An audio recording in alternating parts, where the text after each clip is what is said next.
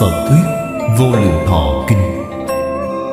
Tôi nghe như vậy, Một thời, Đức Phật Thích Ca Mâu Ni Ở tại núi Kỳ Xà Quật, Nơi thành Vương Xá, Cùng với 12.000 vị đại tỳ kheo.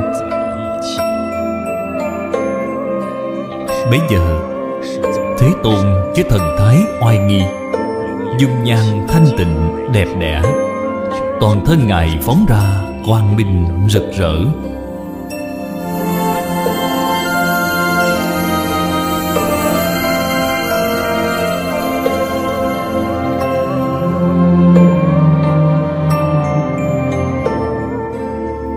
Bạch Đức Thế Tôn, Hôm nay dung nhan của người thật là thanh tịnh.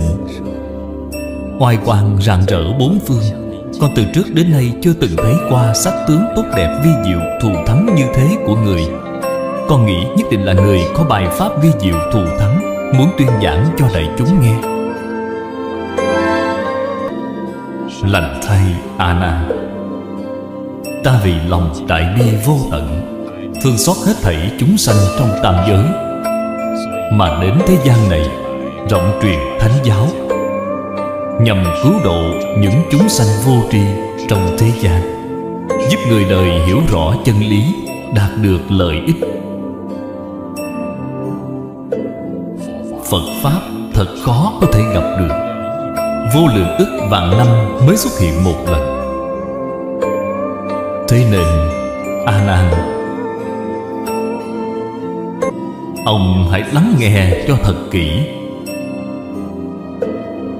Ta sẽ vì ông mà tuyên giảng Phật Pháp. Trong quá khứ vô số kiếp lâu xa, Không thể nghĩ bàn Có các đức Phật, Đỉnh quan Như Lai, Quan Viễn Như Lai, Nguyệt quan Như Lai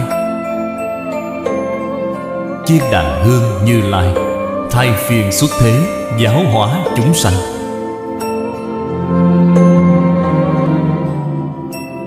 Sau đó, Có một vị Phật Là Thế gian tự tại Vương Như Lai ra đời.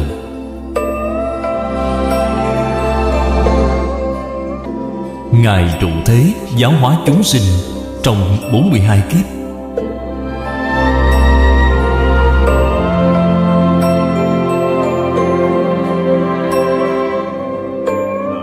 Bấy giờ, Có một vị quốc vương Sau khi nghe Phật thuyết Pháp, Thoát nhiên khai ngộ, Phát tâm cầu chứng Phật Đạo. Ngài từ bỏ ngôi vị, Xuất gia làm sa môn. Hiệu là Pháp Tạng Tỳ Kheo.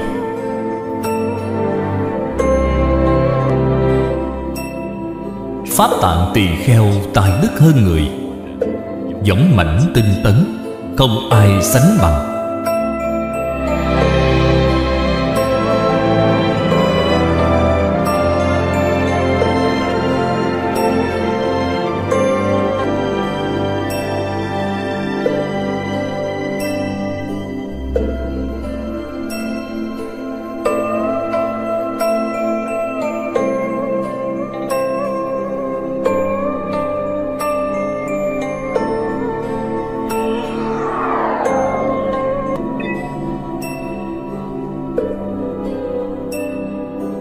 Ngài đến trước Phật, Thế gian tự tại Vương Như Lai, Cầu Phật chỉ dạy.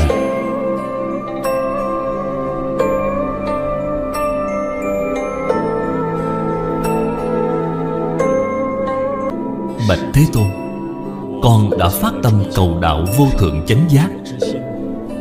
Xin người vì con mà rộng giảng kinh Pháp. Con xin phụng trì như Pháp tu hành tựu cõi nước tình độ trang nghiêm thanh tịnh, Để con đời này chóng thành chánh giác, Dứt sạch gốc khổ sanh tử.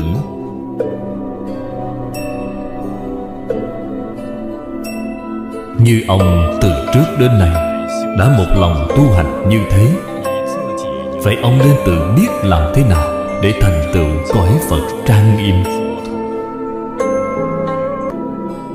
Ý nghĩa của việc thành tựu cõi Phật trang nghiêm thật quá sâu rộng. Dưới năng lực của con Vẫn chưa thể nào hiểu được. Cưới sinh Thế Tôn, Vì con mà rộng nói các cõi nước của chư Phật Như Lai Và các Pháp để đạt được thành tựu. Sau khi con nghe được rồi, Sẽ như Pháp mà tu hành, Nhằm thành tựu viên mãn cõi nước của con. Ví như có người lừa nước biển Trải qua vô số kiếp kiên trì, nỗ lực Còn có thể đến đáy Lấy được kho tàng trân bảo dưới đáy biển. Nếu có người chí tâm tinh tấn Một lòng cầu đạo không dứt Nhất định sẽ đạt được thành quả. Vậy thì có nguyện gì mà lại chẳng thành?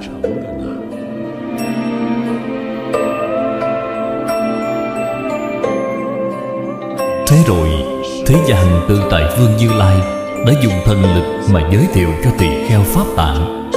210 ức cõi nước tịnh độ của chư Phật. Đồng thời, Ngài còn giảng giải rằng, Trong các cõi nước Phật đó, Do chúng sanh có những việc thiện ác không như nhau, Mà hình thành nên cõi nước không như nhau. Pháp Tạng Tỳ Kheo, Sau khi nghe Đức Thế gian tự tại Vương Như Lai Giảng về các cõi Phật thanh tịnh Khảo sát kỹ càng, liền lập thể nguyện rộng lớn. Vì để tích lũy công đức cần có cho việc thành tựu cõi nước Phật trang nghiêm, Ngài đã chuyên tâm một lòng, Tinh tấn tu trì trong thời gian năm đại kiếp.